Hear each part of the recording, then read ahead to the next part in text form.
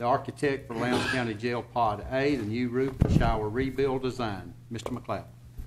Uh, yes, sir. This is a, a request for the approval of IPG Incorporated's proposal of thirty-seven thousand dollars as the architect for the, uh, jail pod A, new roof and shower rebuild. We have any questions for Mr. McLeod?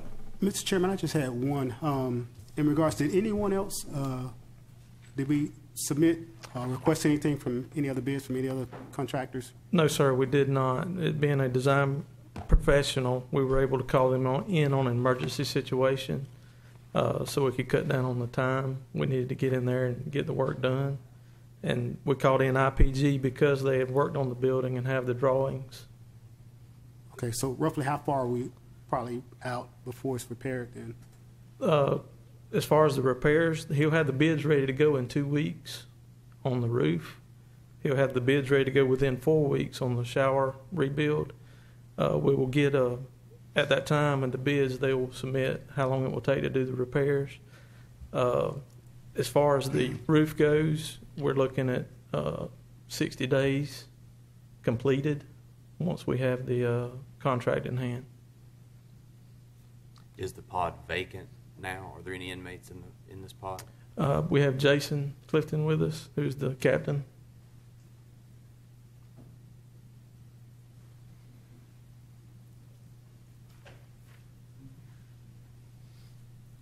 Yes, sir. Question? Yes, sir. Just curious, are we able to house inmates in this section now? We are for right now. Yes, we are making do with what we have with the repairs. I have two maintenance guys and we're basically trying to plug everything up as long as we can to get this work done. But yes, Once this is fixed, will this increase your capacity in this pod, or will it just no, make it easier to live with what you've got? it's gonna make it easier. It's gonna make the conditions much better for those there. We do have another pod B, but there's no work to be done on it yet. It is vacant. Okay, thank you.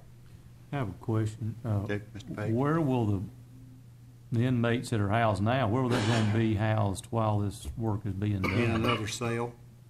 I mean, you got the room to do that. Yes, we, we have the room. What we do is we make accommodations in other cells, and we, we're not going to basically shut down the entire pod at one time. We will work in one area, complete that work, and then we'll move to another area and just basically move the inmates around as we go.